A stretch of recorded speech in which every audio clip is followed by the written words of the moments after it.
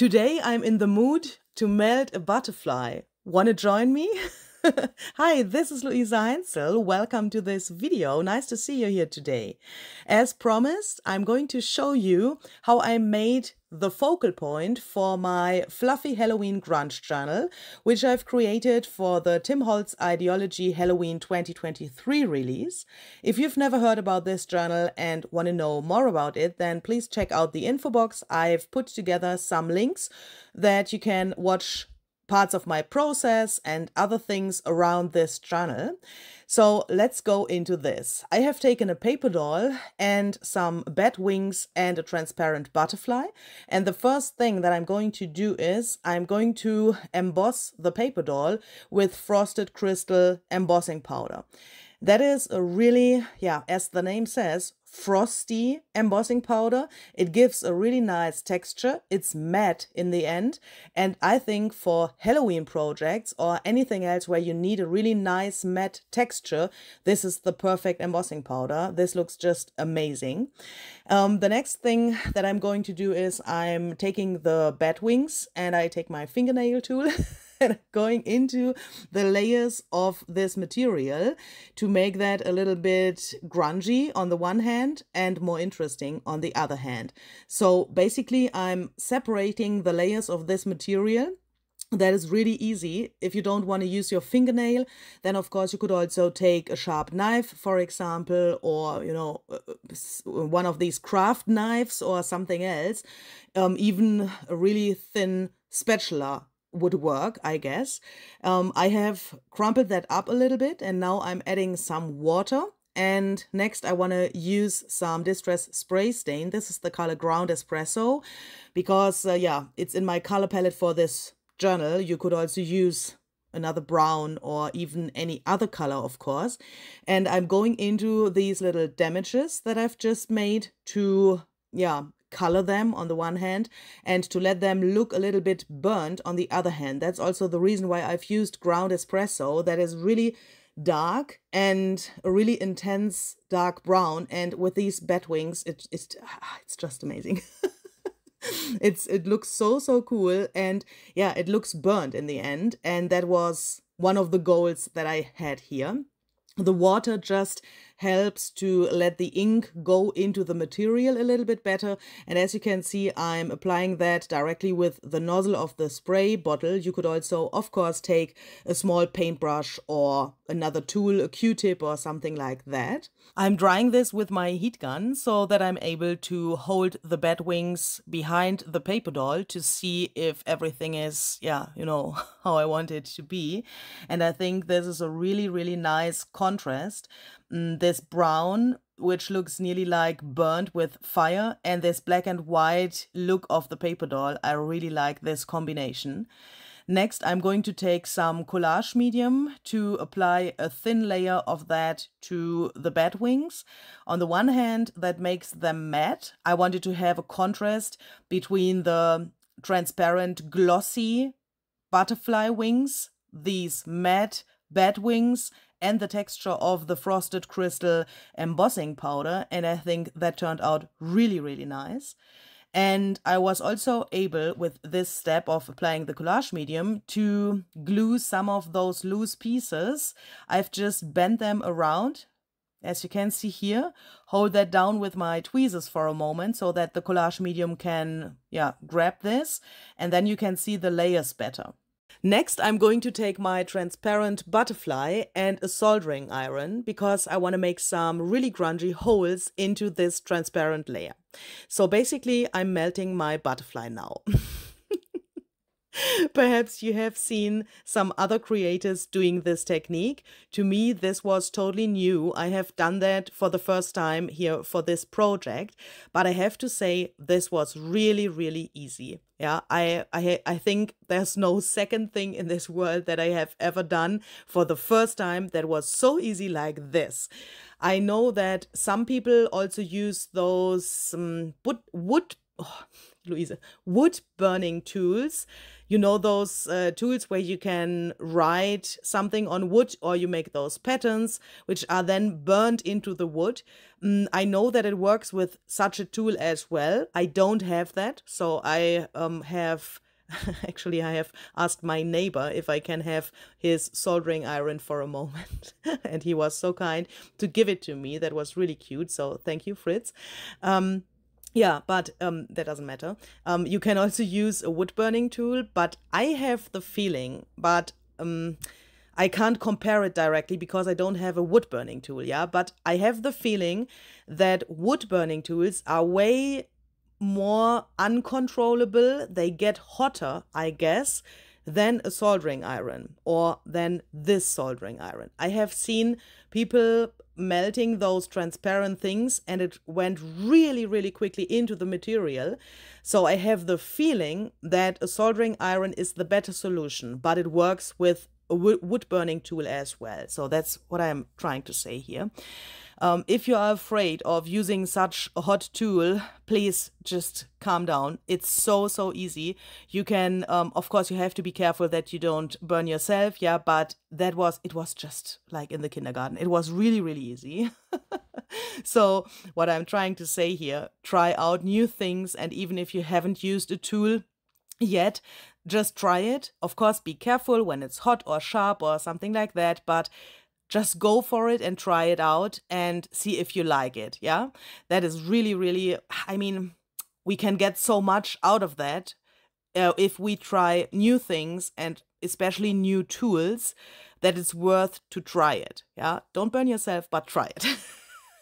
so next, I'm gluing these layers on top of each other, even if this butterfly isn't finished yet. But I wanted to get an idea of the proportion of this whole thing. So I have clamped this door to yeah, it's 99% the position that the door gets later to be able to see how big the butterfly can be on the left side. As you can see, it overlaps a lot and that is way too much because, uh, I mean, if I had left it like this, I won't be able to open the journal later. This is way too far to the left. And I also wanted to have this really irregular. So I've planned it like this from the beginning, but um, I wasn't so sure how to get the right amount of the butterfly wing to the left part of this focal point.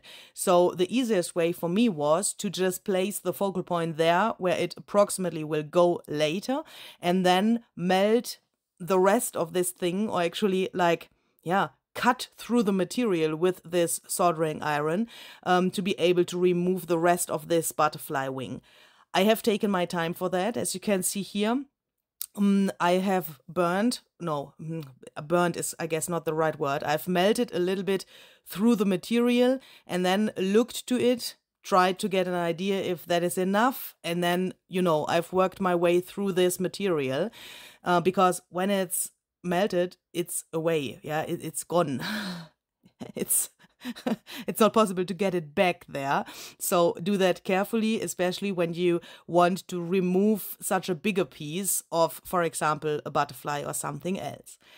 Mm, I wanted to have mm, a piece of this butterfly layer shown on the left side as well. That was the main challenge, I would say, because um, of the proportion of this.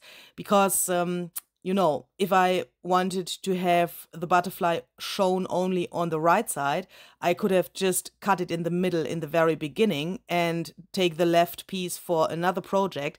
But I thought that looks too unproportional. So I've tried to get a tiny little amount of the butterfly layer to the left of this focal point as well. And I've um, melted that there relatively extremely, as you can see. I've also went into this material like, you know, uh, like there was a little slot or something. But also here, I've pressed the focal point to the position where it shall go later to be able to see how much I can take away or I have to take away. Especially here on this little um, area there, mm, I had to be really careful because I had to take away some more of the material to be able to open the journal later, but I didn't want to melt too much. And I think it's a good idea to um, jump around on the project a little bit. Yeah, so you can see I've worked a little bit on the left side, then I went to the right side and did a little thing there, then I went back to the left and so on to be able to yeah, get a better idea of the end result. And I've also taken this tool to melt the outer frame of this butterfly. You can see I'm going into these, yeah, the shape of the butterfly actually to um yeah you could you could say to distress the edges of this um, if you do that really carefully and don't press too hard and don't wait too long then you can get a really really nice and rough edge to this material and what I also really enjoyed is um, my neighbor Fritz, who has given me the soldering iron, has used it with solder. Yeah, it, before I got it. Yeah, he used it for what it's meant to use. So a little bit of this solder was still on this soldering iron and it came off while I melted these holes into the material. And that gave these holes a really nice like distressed outline and that looks really really interesting in the end of this video you will see that in a little bit you know close up shot that um, is definitely worth a try to take solder on purpose and um, not only the leftover from the iron and try to get that to this transparent layer. I will definitely try that on another project, but for this one, I didn't want to have this silver color. Yeah, there's a lot of gray on this um, journal cover and also inside, and I didn't want to overload the project with this grayish color, and silver is gray to me somehow as well. So hope that makes sense. In the end, I have also put this soldering iron to an angle to be able to burn really burn. I always say burn, or um, um, even I know that it's probably not the right word. Word to melt some really small details into this material so that it looks like aged and like mm, perhaps a little bit like eaten by a moth. Do you know what I mean? so now this is what I have here. Later on, I've added also a tiny little bit of alcohol ink to this layer, but uh, this is already really, really interesting. I, and I really love this contrast between the glossy areas, these matte areas, and the areas where the frosted crystal embossing powder is. That looks just so yummy. And yeah, I will also, of course, show you how this looks when it's finished. So that's the finished journal. As I said, if you want to know more about this journal, you can find some links listed down below in the description box and you can also find links to the products that I have used here for this in the description box. I hope you liked it. See you the next time and have a very creative day. Bye bye.